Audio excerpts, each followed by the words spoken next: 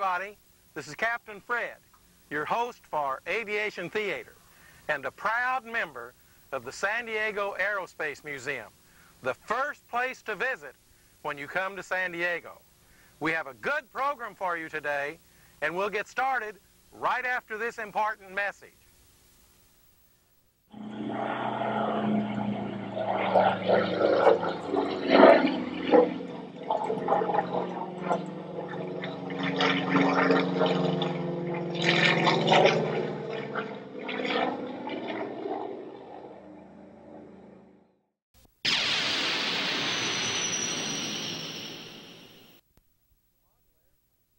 Model airplanes is the second largest active hobby in the United States.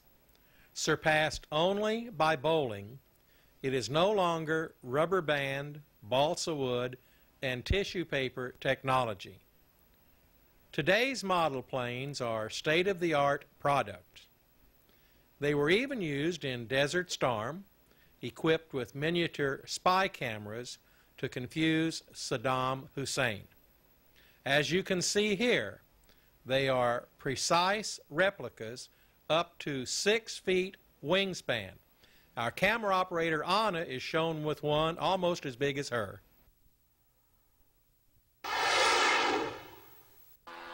Once again to Captain Fred's Aviation Theater. Today we're visiting the Palomar Radio-Controlled Model Club, and this is the president, Bob Lang. Now I'm going to give the directions on how to get here. Okay. You go north on Interstate 15 Yeah, to Highway 76. that's right. And you turn right and it's one mile east. It's about three tenths of a mile east to Pankey Road. And it's open to the public free of charge. Free of charge. Uh, the gate is open Saturdays and Sundays when somebody's flying here. Generally about six, seven hours a day. We'd like the public to come in and watch. Very good. Uh, what's going to happen here today? Well, today we've had our first annual top dog uh, scale fly-in. Uh, first at this field, we did used to do this a long time ago, but we haven't had a field to do it at. But we have 27 pilots and planes here today, all competing for People's and Pilots Choice Awards. Uh, very good airplanes. Very. Some of these guys are really good scale builders. Very a- good pilots. And a beautiful field. This is great. We've done a lot of work on this thing. Over 100 members have built this field. Okay, let's get started with the radio control model competition. Okay, next ticket. You got a global. Custom ceiling iron. Nice landing, John. This is the biggest model I've ever seen, and it's heavy. We're going to put it down.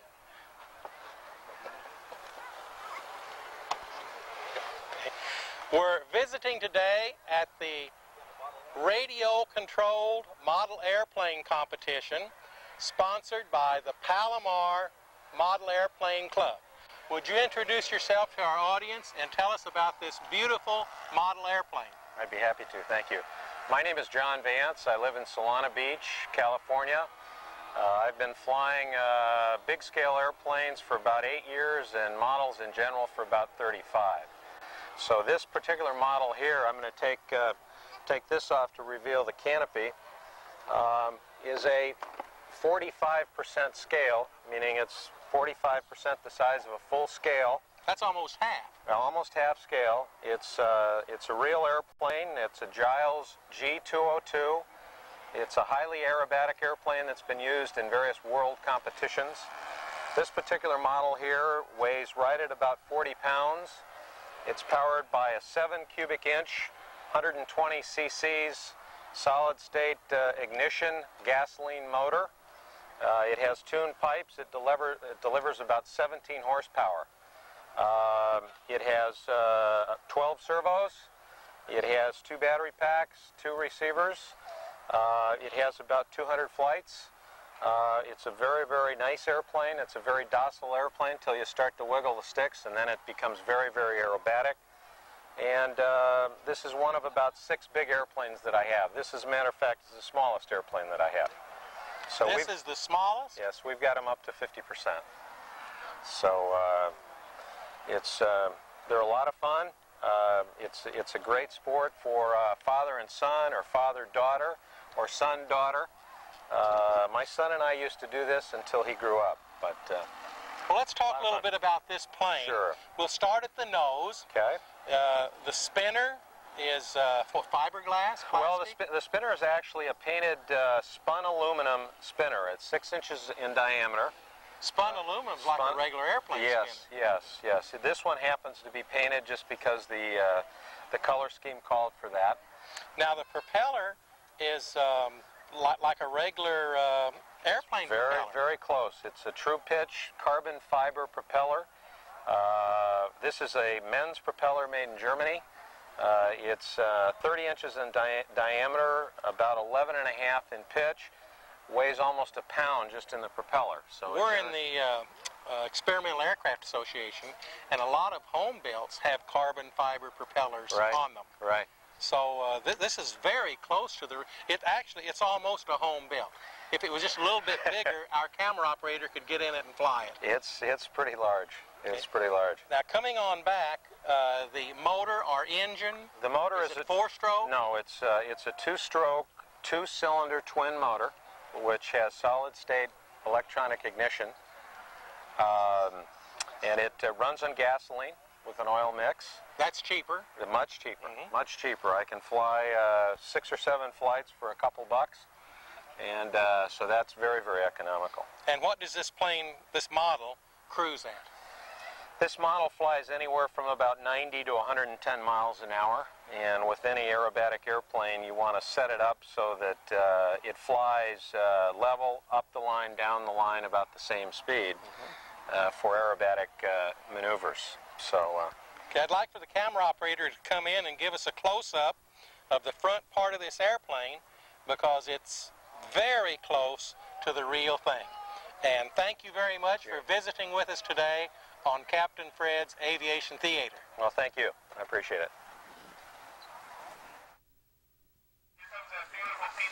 on final. Down, down, pretty good landing. Give that man another round of applause. This is our next RC model airplane at the Palomar competition. Let's set it down on the ground. Okay. Would you introduce yourself and tell our viewers about your airplane? I'm Paul Burke. I'm from Palmdale, California, retired Lockheed. And this is a uh, kit of a Fairchild PT-19, World War II primary trainer. And it trained a lot of them, too. A lot of the people out here have flown it. And it's the airplane, the model is fly just like the real one. It's a ball to fly. I've had it four or five years. This looks like it's a, a balsa wood model airplane. mostly. The plastic, cowl is plastic, everything else is balsa covered with fabric. It's modeled after one up at the March Field Air Force Museum. Is the fabric Ceconite? It's uh, plastic uh, simulated fabric. It looks a lot Heat like shrink? that. You run an iron over it? Uh-huh. So, uh, what kind of an engine does this one have? This one has an OS 120 four-stroke. It's a two-stroke, Four-stroke. four-stroke, uh, which is actually much quieter. Quieter, four-stroke. and, and it's it's more suited for the uh, type of the airplane that we're exhibiting. Mhm. A two-stroke engine makes it sound too much like a lawnmower. That's true.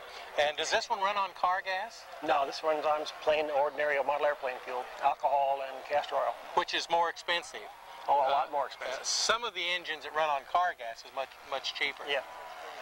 That's interesting that it would be a four-stroke engine, but that it runs on model airplane Yeah. fuel. And it's also glow plug ignited. It doesn't need a spark or anything like that. Uh-huh. It's like your standard uh, two-stroke model airplane that you, you find at the hobby store. Now, this is a model of an airplane that trained thousands of pilots in World War II. Uh, what does this model cruise at? Uh, airspeed-wise, maybe 75 miles an hour. 75, which is about what the real one Yeah, the real one didn't, didn't do much better.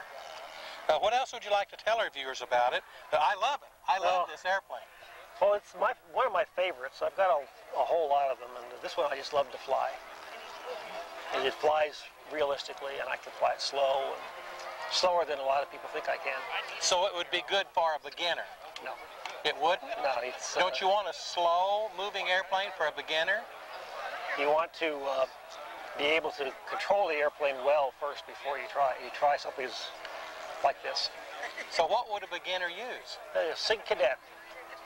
There's nothing better than a Sig Kadet. That's a, a big A wing. big, big airplane, square, square fuselage, square wings, flies with practically any any motor, and um, they're really, really simple to fly. Very good. Thank you for visiting with us today. Sure enough.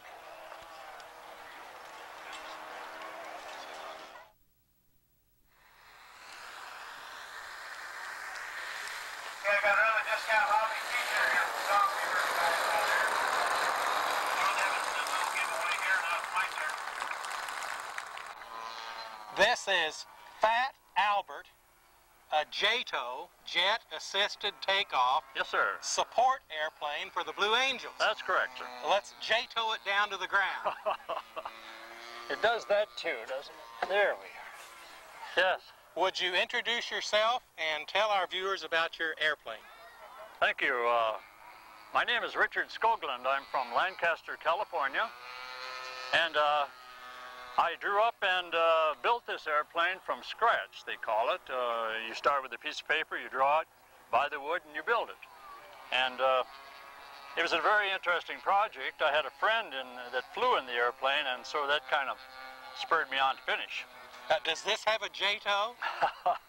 well, that's in the planning works.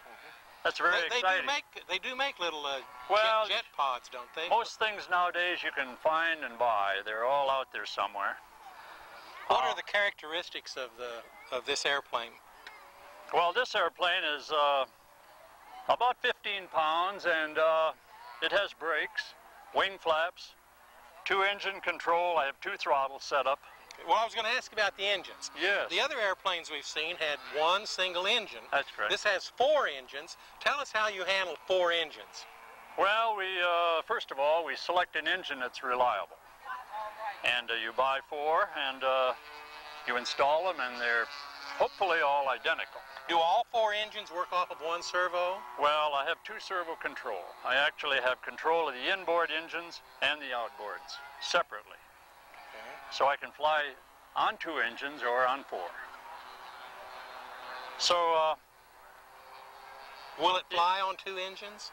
we fly it quite often on two. We throttle back to idle and uh, fly on two engines, yes. And what kind of fuel does it run on? Well, it runs on a uh, alcohol, uh, methanol-based, oil-based fuel. It's uh, purchased uh, from the hobby stores in cans and uh, used. And what kind of speed would this cruise at? Well, I would think at full power, this airplane will cruise about 80, 90 miles an hour. And is it covered with uh, plastic or fabric? This is a plastic iron-on film that comes pre-colored, and you attach it with the iron. Oh, so you don't have to paint it. No, there's no painting involved on this airplane. How long did it take you to build Fat Albert? I uh, I built it in about two and a half months, uh, maybe uh, 250 hours labor time, and then we flew it and uh, experimented a little bit with it, and uh, it's been a very interesting project. I have a group of fellows that work with me, so uh, Is there anything else? project. Is there anything else you'd like to tell our viewers about the plane? Uh, hopefully uh, we'll get to fly it again today once or twice, and uh, I know all the crowd is waiting to see a four-engine airplane fly. I'm fly. sure they are. Uh, maybe we'll try and do that. Thank you for visiting with us today. You're very welcome. Fat Albert, the Blue Angel jet assisted takeoff support plane.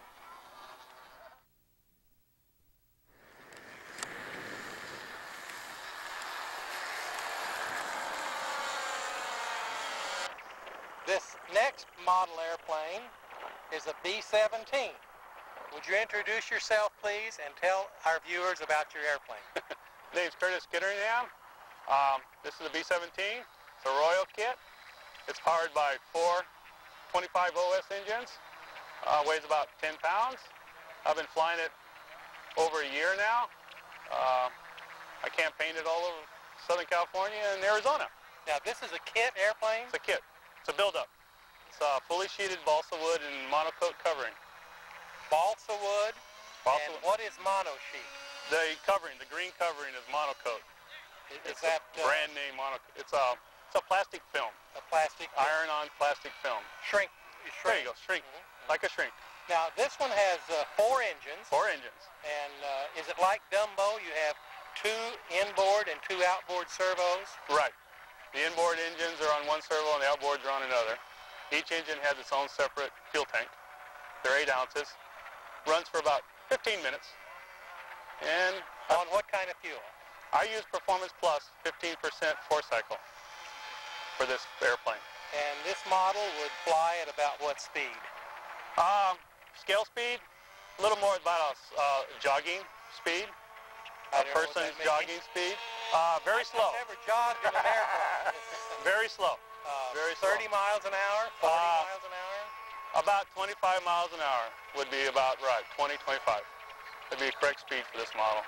Actually, that's much better for the camera. Now, the camera has trouble keeping up with the models that fly at 100 miles an hour. Oh yes. No, this this model will fly very slow. Is there anything else you'd like to tell our viewers about this airplane? No, it's, other, it's predict it's uh, depicts an actual aircraft. Two bomb groups. Uh, the Snafu flew in Europe. The name of the aircraft. And Snafu was a, an official military. an military official military term. It was an official airplane and a bomb group out of England. The uh, tail feathers are a bomb group out of France. They flew uh, reconnaissance and pre-mission runs. And so I took the combination of the two aircraft and I thought Snafu fit. So we call it. Snafu. Snafu means situation normal, all fouled up. Right. Snafu.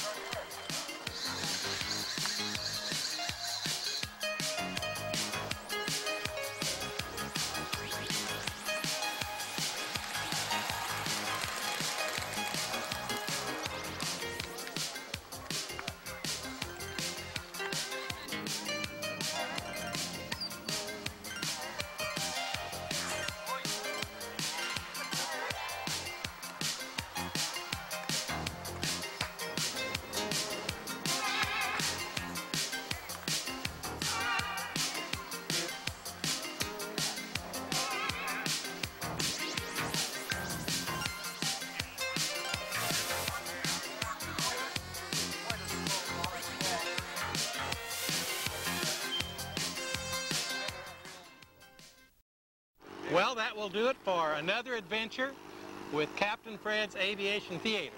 Thank you, Bob Lang, for inviting us here today. We're glad to have you. Glad you showed up. Aviation, model aviation needs the publicity, and you've been a big help in us getting that. Thank you.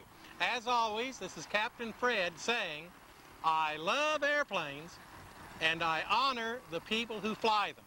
And that includes model airplanes too.